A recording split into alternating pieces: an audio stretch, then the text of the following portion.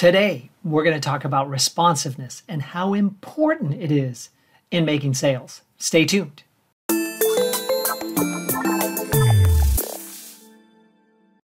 I want to start by reading an email that I recently received from someone that I was introduced to for the sake of possibly doing some business together. I'm not exactly sure yet.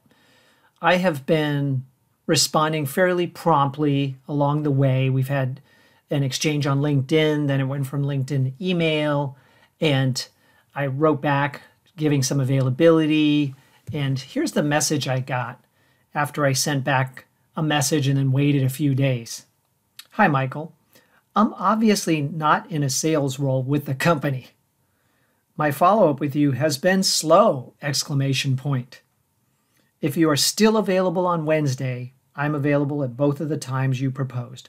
I look forward to connecting and sharing more. So I'm not going to share the name or the company or anything like that. It's not about that. It's about the lesson. What can we learn from this? So, first thing, I'm obviously not in sales because I've had poor follow up. Bingo. In sales, we expect salespeople to be great at follow up. It is so important to be great at follow up in sales. I want you to be so good at following up that you actually get comments on it, compliments on it. People say, wow, you are really good at following up. Or, I have to say, nobody follows up like you do. Or, thank you so much for following up. I really appreciate it. You should be getting comments like that regularly. And that's how you'll know that you've distinguished yourself from average. So, another thing that's really important in this short message is if you are still available on Wednesday. Well, when I first sent the note, I learned that it's really important to not just say, I have some times available on Wednesday. When are you free? No, no, no. No, when we send email, we keep it short and to the point and we try to make it actionable. So, what I said is, I'm available on Tuesday at this time and this time, and I'm available on Wednesday at this time and this time. Which one of these will work for you? And I'll send a calendar invite. That keeps the exchange quick and responsive, right? Because then they're able to respond. They don't have to think about, well, I wonder when he's available. Will this work? They know when I'm available. And all they have to do is look at their calendar and my suggested times and pick one and respond. I'm available on Wednesday at this time. Well, as it turned out, by the time they wrote me, I wasn't available on Wednesday anymore. So I wrote back and I said, no problem. I'm no longer available on Wednesday, but I am available on Thursday at these times and Friday at these times. And here's exactly how to make an appointment with me. I have an online calendar. Here's the link. Go there and please pick a non discovery I mean, a non client discovery session. That's what I call my 30 minute get to know you session. And you're always welcome to set one of those up for me if you are based in the US or Canada. I'm only working with people in the US or Canada at this time for one on one sales coaching. So, that person got my email back and they set a time with me, and now we'll be meeting. So that's how it works, right?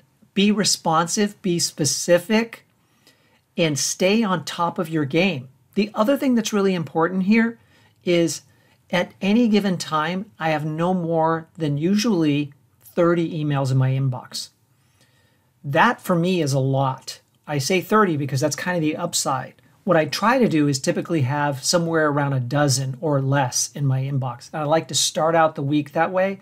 In a really busy week, sometimes it'll get up to around 30 or so and then I whittle it back down by the end of the week to start the next week fresh with a clean inbox. You can't be responsive if you're not able to see the email. Check your junk folder, right? Check there. I'm very responsive on LinkedIn. I check my LinkedIn messages every day.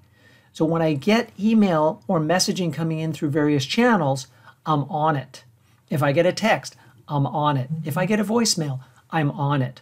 I had a call recently from a person looking for information to support their leader who's in one of my programs. I responded right away, left a message. I called back several times during that day. I was never able to reach the person, so I just let it go because I did my part. I was highly responsive. Do your part, be responsive, and you will find that your success will grow because of this one characteristic. It's a defining characteristic of successful people that they are responsive or they have someone who is responsive for them. And that's up to you to decide based on where you are in your career, right? For me, I pretty much am the one being responsive. But one day, who knows?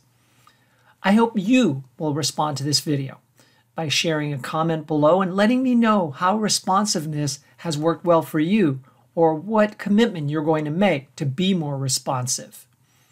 And being specific in your messaging, right? That's the second lesson in here. Please like it, share it with other people who have not discovered my channel. And if this is your first or second time on my channel, please subscribe because I release videos every week.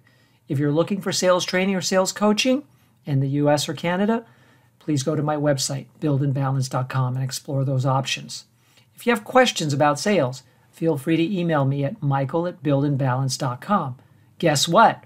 You'll get a response from me if you do. Thanks and best wishes to you.